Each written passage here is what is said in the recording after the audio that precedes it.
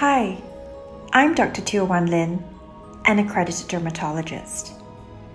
I want to tell you something today. Everyone is born beautiful. We tell that to a child born with a birthmark and to one without.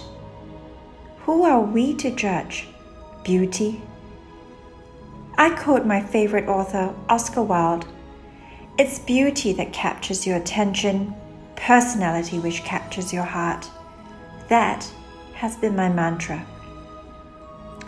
Umberto Eco, in his book on ugliness, says Beauty is, in some ways, boring. Even if its concept changes through the ages, nevertheless, a beautiful object must always follow certain rules. May our proposition then that we have gotten our concept of beauty a little wrong?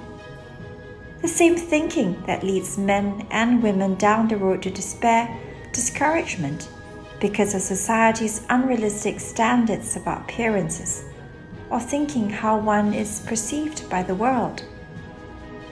Let me tell you a little tale. Beauty somehow has always been linked to youth.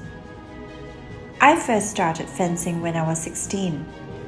In fencing, 40 milliseconds separate victory from defeat. Are you conscious of time?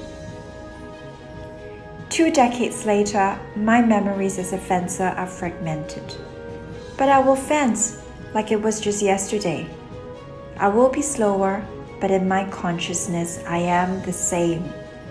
Every move of the opponent's blade, the closing in on distance, the anticipation. There is order in the chaos of our memory, imagination, and intention. Every little act adds up to who you are.